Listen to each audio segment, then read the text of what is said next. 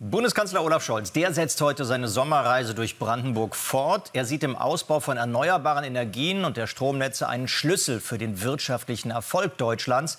Dadurch, sagt er, werde auch die Stromerzeugung in Deutschland billiger. Geäußert hat er sich im ZDF-Sommerinterview. Ja, er klang da sehr überzeugt, wie, wie er meistens. Das Problem ist dabei nur, anders als Wirtschaftsexperten und Ökonomen sieht er keine Schwäche in der deutschen Wirtschaft.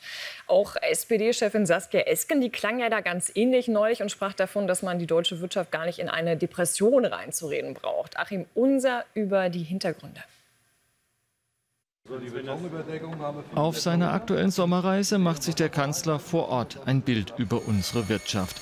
Dass es um diese schlecht stehe, will Olaf Scholz nicht gelten lassen. Es laufe bald wieder besser. Ausländische Firmen, wie zuletzt ein taiwanischer Halbleiterproduzent, kämen schließlich nicht nur wegen der Subventionen nach Deutschland, die der Staat ihnen zahlt. Das ist eine bewusste Entscheidung dieser Unternehmen. Die sind nicht wegen der Subventionen, die es auch anderswo in der Welt gibt, gekommen. Wir dürfen auch gar nicht mehr machen, als was sie in anderen europäischen Ländern auch gekriegt hätten.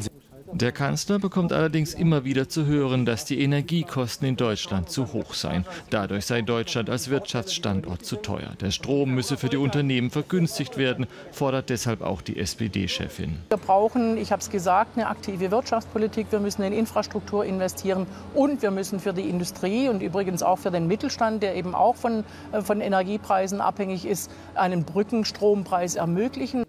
Dauerhaft könne man Strompreise nicht subventionieren, meint aber Olaf Scholz. Aufgabe der Politik sei, das Stromangebot zu verbessern, zum Beispiel mit Windrädern. Der Kanzler will, dass bis 2030 vier bis fünf Windräder pro Tag an Land gebaut werden sollen.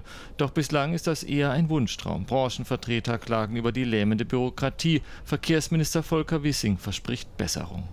Wir tun alles, um den äh, Kollegen Habeck dabei zu unterstützen, den Ausbau erneuerbarer Energien voranzubringen.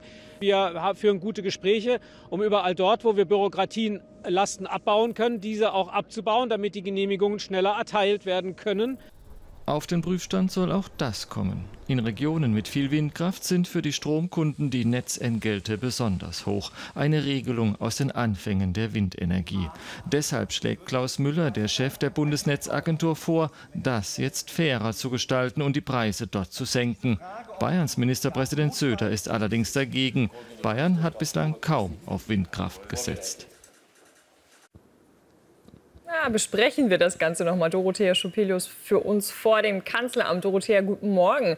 Ja, Scholz im Sommerinterview und man muss sagen, wie immer, also alles perlte an ihm ab, alles war wunderbar. Ja. Eine Spur von Selbstkritik war nicht zu finden.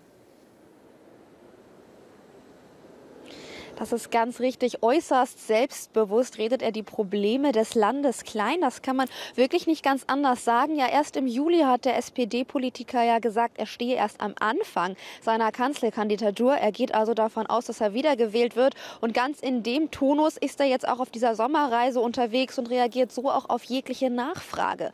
In dem Sommerinterview mit dem ZDF, da wurde er auf das ZDF-Barometer angesprochen. Laut dem sind nur 21 Prozent der Deutschen davon überzeugt, dass er durch durchsetzungsfähig ist und 73 Prozent der Deutschen halten ihn für nicht durchsetzungsfähig in seiner eigenen Partei und als Kanzler. Darauf antwortete Olaf Scholz nur, dass diese Diagnose nicht zutreffend sei und er sehr gute Entscheidungen getroffen habe in den letzten Monaten. Auch die Umfragewerte der AfD scheinen ihn momentan zumindest noch nicht zu sehr zu beunruhigen. Er selbst hat ja jetzt schon mehrfach die Prognose abgegeben, dass die AfD in der nächsten Bundestagswahl mit dem gleichen Ergebnis rausgehen wird wie in der letzten, also mit ungefähr ungefähr 10 Prozent. Damit müsste sie sich halbieren und auch auf Nachfragen, woran es denn liegen könnte, dass die AfD so weit vor der Kanzlerpartei liegt, äußert sich Olaf Scholz zumindest bisher noch sehr gelassen bis gar nicht.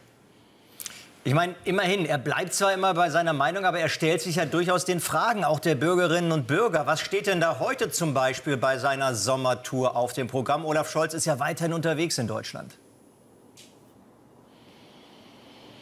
Olaf Scholz macht sich auf dieser Sommerreise seine Markenkernthemen wieder zu eigen. Das ist Energiewende und Klima. Er besucht zum Beispiel eine Energieindustrie oder ist auch am Sediner See unterwegs und spricht dort über die Probleme des Wassermangels. Es fallen allerdings zwei Dinge hier auf, die ich einmal ansprechen möchte. Obwohl der Kanzler die AfD-Umfragewerte derartig kleinredet und nicht als Problem bezeichnet, ist er in den vier Orten unterwegs, wo die AfD am stärksten ist, und zwar in den östlichen Bundesländern Sachsen, Sachsen-Anhalt, Thüringen und Brandenburg. Er ist nicht in Bayern und Hessen unterwegs, wo er Landtagswahlen ansteht, sondern eben genau da, wo die AfD die stärkste Kraft ist. Das könnte also einen vermuten lassen, dass er doch nicht ganz so gelassen und entspannt mit den Umfragewerten der AfD umgeht, wie er es an den Tag legt. Und das Zweite, was auffällt, ist, dass der Bundeskanzler ein großes Thema, was von der Bevölkerung als Hauptsorge momentan in den Umfragewerten angegeben wird, ignoriert. Und das ist die Migrationskrise. Wir erinnern uns, Friedrich Merz, auch auf Sommerreise gewesen letzte Woche, hat die Grenzpolizei in Bayern besucht,